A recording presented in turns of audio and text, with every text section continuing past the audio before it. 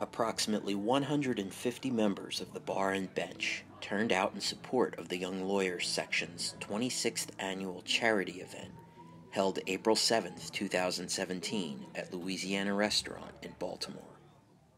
Proceeds from the evening, which included a silent auction, went to benefit the One Love Foundation, a nonprofit organization that works to raise awareness of relationship violence.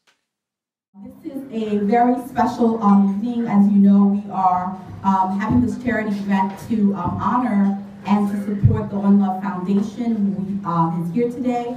Um, and so we are really thankful that you took the time um, to come and to share in the food, fun, and the fellowship.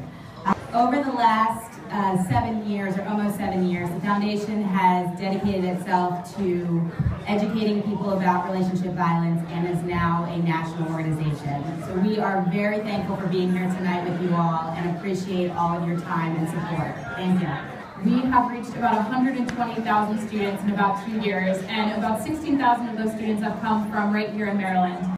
The Young Lawyers section also presented its Young Lawyer of the Year award to Ashley E. McFarland, while Mary Ellen Flynn received the section's Lawyer of the Year award. Thomas K. Prevas accepted the Law Firm of the Year award on behalf of Saul Ewing, LLP.